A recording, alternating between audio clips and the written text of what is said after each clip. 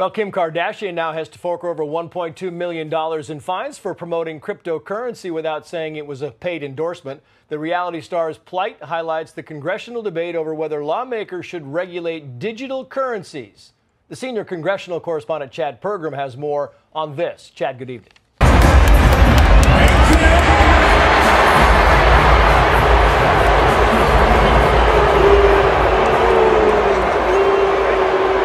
Kim Kardashian booed while shown on screen at LA Rams vs. Cowboys game. Kim Kardashian attended the Rams game with her son Saint, whom she shares with Kanye West. Kim Kardashian was seemingly booed while shown on screen at the Los Angeles Rams vs. Dallas Cowboys game Sunday. Fans in the crowd of the game held at SoFi Stadium could be heard booing as the Kardashians star was spotted by the cameras attending the game and video shared to social media. She was shown on the screen right after musician John Legend. Kardashian was joined by her son Saint for the football outing.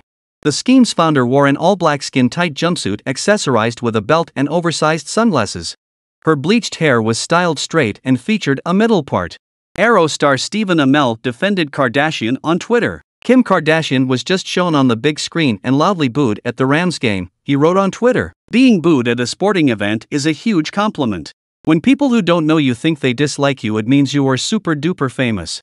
However, some didn't agree in the replies to his tweet. That might just be what famous people tell themselves. If we boo you, we truly dislike you in New York, one user wrote. That is not a compliment where I come from, another added. Kardashian herself didn't react to the booing. The reality TV star instead took selfies with her son Saint and shared their outing to social media. Kardashian and Saint were not joined by the star's other children, North, 9, Chicago, 4, and Psalm, 3. The KKW Beauty founder shares her children with estranged husband Kanye West. West and Kardashian have had a rocky public divorce. Kardashian filed for divorce from West in February 2021. Following Kardashian's move, the musician aired out his drama with the beauty mogul over the parenting of their kids and the keeping up with the Kardashians star's last boyfriend, Pete Davidson.